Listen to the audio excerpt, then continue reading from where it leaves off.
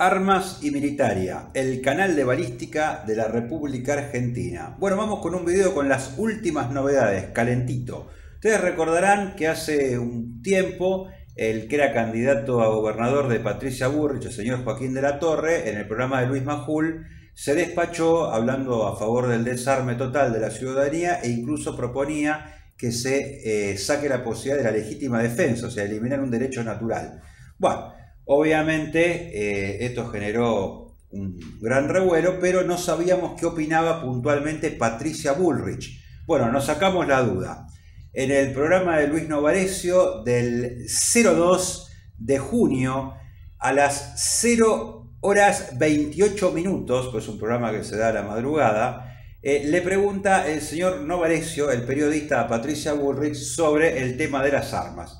Y Patricia Bullrich se despachó largamente hablando a favor del desarme civil, por supuesto. Y dijo que para ella las armas solamente deberían estar en manos de las fuerzas.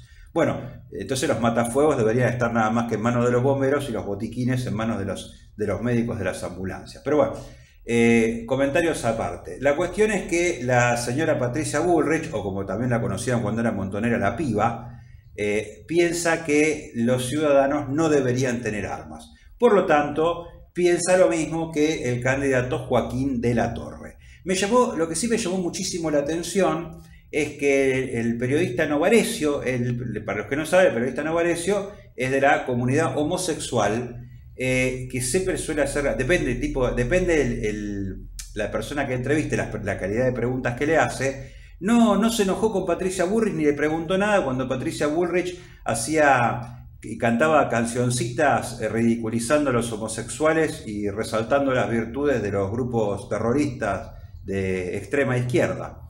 Así que bueno, nos quedamos con la duda y ¿qué vamos a hacer?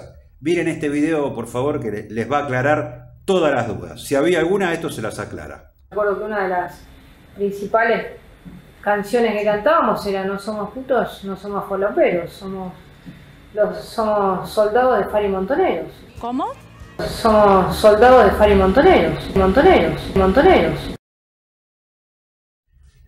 Bueno, creo que para, para representar lo que es la señora Bullrich, con esto sobra.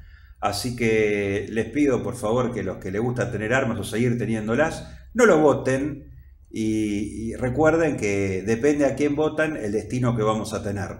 Eh, señora Bullrich, desde Armas y Militaria, desde Alutara, yo soy el secretario de Alutara, vamos a hacer todo lo posible para que usted pierda las elecciones. Usted y también el señor Larreta con el otro desarmista de Tetaz y todos ellos, ¿no? Así que sepan que vamos a trabajar en todo lo posible para que usted pierda. Desde ya que este video es de libre reproducción, el que quiera compártanlo, véanlo. Y muchachos, yo no soy el que dice las cosas, ella dice las cosas. O sea, fue al programa de Novarecio a jactarse de eso. Es más, en la Nación Noticias, ¿no?